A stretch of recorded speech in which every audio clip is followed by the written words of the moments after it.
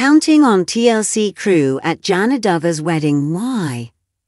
Counting on fans have been celebrating Jana Duggar and Stephen Wissmann's marriage. Many family members from both sides are starting to upload pictures and clips from the ceremony. However, some fans hope that the married couple will release a full video of their nuptials like what Jessa and Jill did. But several Redditors think there's still a possibility that TLC documented the couple's big day. Keep reading to see why. Support this channel. Please go ahead and hit the subscribe button and give this video a thumbs up. Jinger recently took to Instagram to share how emotional she gets when she talks about her sister Jana. According to the Counting on alum, her oldest sister often serves at their weddings and is overjoyed whenever one of her sisters gets married. Jinger added that Jana never seemed bothered about her being the oldest single Duggar, despite all the people hoping for her to finally find the right man. Due to this, Jinger was so happy when she was the one who finally served Jana at her nuptials. Jinger is one of Jana's bridesmaids, along with Joanna, Johannah, Jordyn, and Abby. Jess has served as a maid of honor. Photos of them looking so thrilled about the newlyweds have circulated online. Jinger Davavulo has also been uploading clips and pictures during her time in Arkansas. But many counting on fans on Reddit were surprised when they saw some of her pictures showing several people who they worked with from TLC.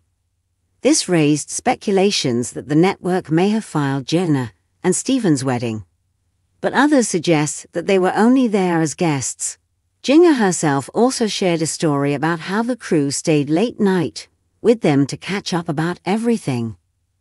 I think they just invited them to attend. TLC would have aired that by now or at least advertised it.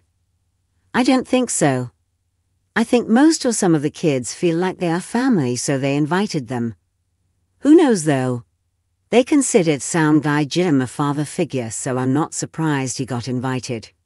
Frank's son, who Jana had a few rumors with, also got invited, but declined. No, they are just family friends. There is no TLC filming. I'm very surprised the film crew was invited to attend the wedding. It's unclear whether the wedding was filmed since Counting On was cancelled, and TLC cut ties with the Duggars after Josh was arrested in 2021. Maybe Jana or Jim Bob told the film crew guys not to bring their camera equipment just so the wedding could be kept under wraps until it was over. Jana hasn't been active on Instagram since uploading photos from her wedding.